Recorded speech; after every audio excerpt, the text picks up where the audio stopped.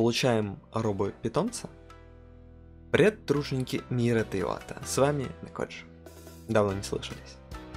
В обновлении 2.8 к нам в игру пришло событие Кузница машинерии.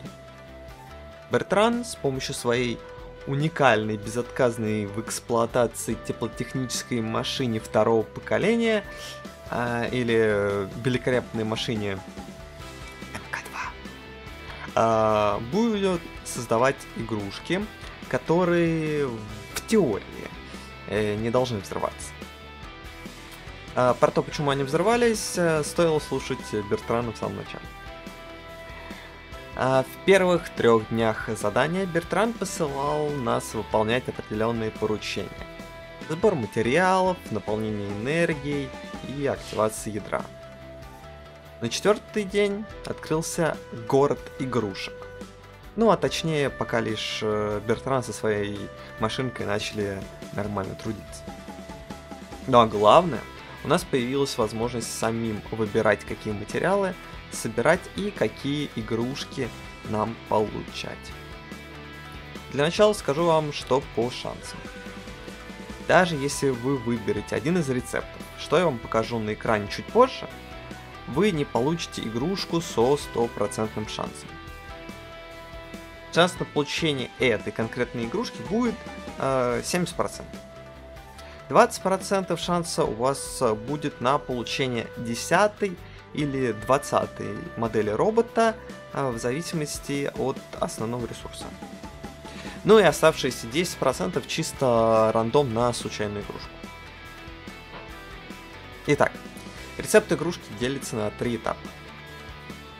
Сбор основного материала, сбор стихии, э, сбор ядра. Первый этап позволяет нам выбрать, какого робота мы хотим сделать, сову или треногу.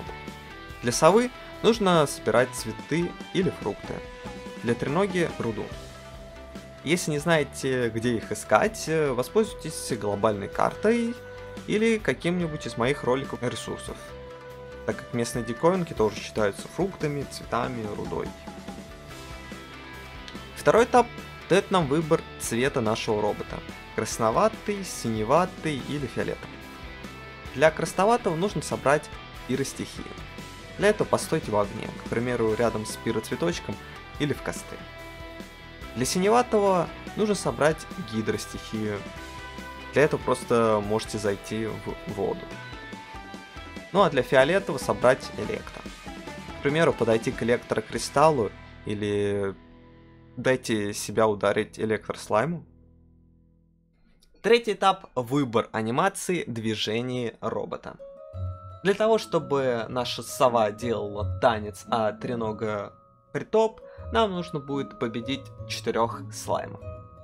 Для полета у совы и пряток у треноги нужно будет победить двух спектров.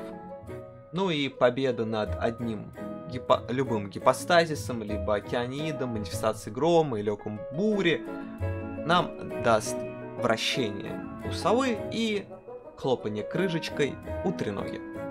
Также, как я уже говорил, с 20% шансом при уничтожении любого противника, люб, выборе любой стихии и основываясь на материалах из первого шага, мы можем получить сову-путешественницу, либо треногу-путешественницу. Ну это все.